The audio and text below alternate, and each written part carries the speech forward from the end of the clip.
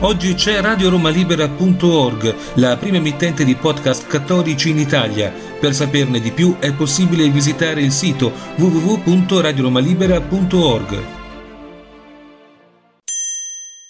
La nuova frontiera dell'orrore si chiama compostaggio umano ed è già realtà in diverse regioni degli Stati Uniti. Si tratta di un nuovo metodo di smaltimento dei corpi dei defunti, metodo che consiste appunto nel compostaggio dei loro resti e nell'utilizzo del ricavato per fertilizzare gli alberi, aberrante. Ciò accade già negli stati di Washington per primo, poi in New York, in Oregon e in Colorado. Dal 2027 accadrà anche in California, dove lo scorso 18 settembre il governatore Gavin Newsom, democratico, ha firmato la legge Assembly Bill 351 che autorizza tale pratica caldeggiata dal deputato Cristina Garcia, pure democratica, convinta che tale metodo sia più economico e più ecologico della sepoltura tradizionale ma la modalità è lontana anni luce dal concetto di corpo come tempio dello spirito contenuto nel catechismo della Chiesa Cattolica al numero 364, concetto che implica la pia usanza di seppellire i defunti con riverenza e grande dignità, non certo di trattarli come humus.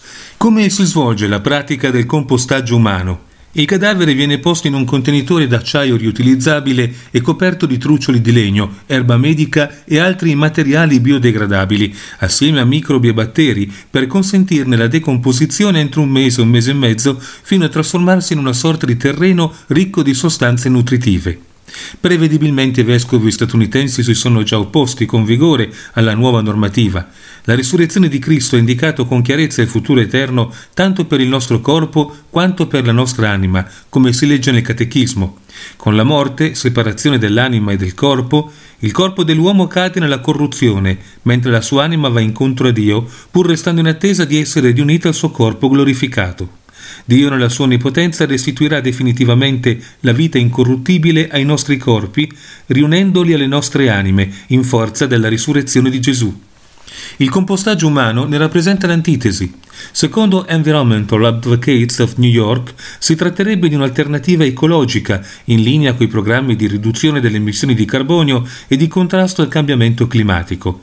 In realtà si pone in contrasto con la fede della Chiesa, poiché ricade nel divieto previsto dall'istruzione ad Resurgendum cum Cristo emanata dalla Congregazione per la Dottrina della Fede nell'agosto 2016, la stessa che proibisce di disperdere le ceneri dei defunti o di tenerle in casa.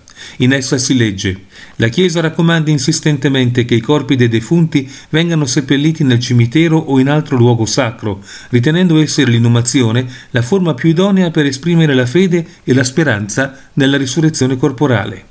Spiega, seppellendo i corpi dei fedeli defunti, la Chiesa conferma la fede alla risurrezione della carne e intende mettere in rilievo l'alta dignità del corpo umano come parte integrante della persona della quale il corpo condivide la storia.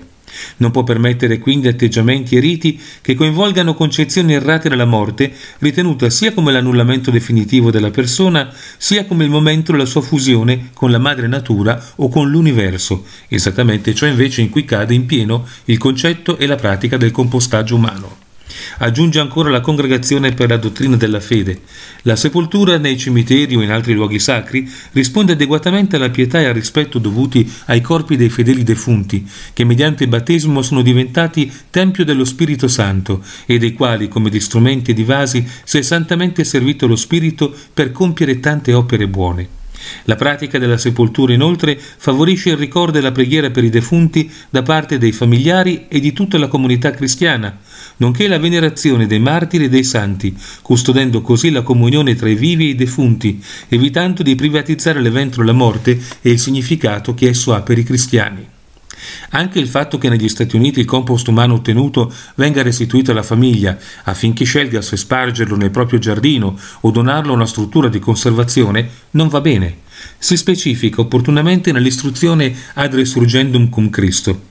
La conservazione delle ceneri nell'abitazione domestica non è consentita, né è possibile la loro spartizione tra i vari nuclei familiari. Non solo, per evitare ogni tipo di equivoco panteista, naturalista o nichilista, non si è permessa la dispersione delle ceneri nell'aria, in terra o in acqua o in altro modo. In una parola, la pratica del compostaggio umano è assolutamente e totalmente anticristiana, oltre che disumana, e non a caso è stata subito fatta propria, accolta e normata da stati a guida democratica quali Washington, New York, Oregon, Colorado e California a riprova, caso mai ve ne fosse bisogno, di quanto immanente, materialista e positivista quindi errata sia una concezione progressista della persona e del mondo.